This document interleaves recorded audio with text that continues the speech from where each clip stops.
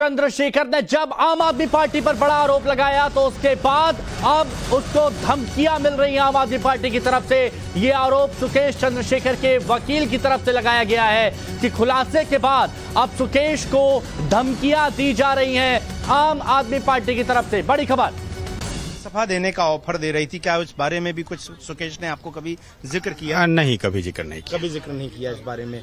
चलिए तो ये एक सुकेश चंद्रशेखर के तरफ़ से इन्होंने जो है वो एलजी दिल्ली को पत्र लिखा जिसमें एक बड़ा सनसनीखेज आरोप कि जेल में ही बंद सत्येंद्र जैन जो कि जेल मंत्री भी हैं दिल्ली सरकार के उनको 10 करोड़ रुपए प्रोटेक्शन मनी के तौर पर दिए हैं और इन आरोपों पर कहा है इनके वकील ने कि इस तरह की जो बयान है वो मनी लॉन्ड्रिंग की जाँच के दौरान ईडी को भी दिए गए थे इसके अलावा लोग दिल्ली हाई कोर्ट भी गए थे और इस बात को लेकर कहीं ना कहीं दबाव था कि जेल के अधिकारियों द्वारा जिस तरह के भ्रष्टाचार की बात सामने आ रही वो बयान वापस लिया जाए। उसके बाद ही उन्होंने जेल बदलने की मांग की थी। हालाँकि गुजरात चुनाव की टाइमिंग को देखते हुए इस लेटर के सामने आने पर उनके वकील ने कहा क्या कहेंगे? ये एक तरह से मैनेज किया हुआ है? नहीं मुझे ये समझ नहीं आता। Sir your. क्लाइंट फोर्स्ड और threatened by any person to send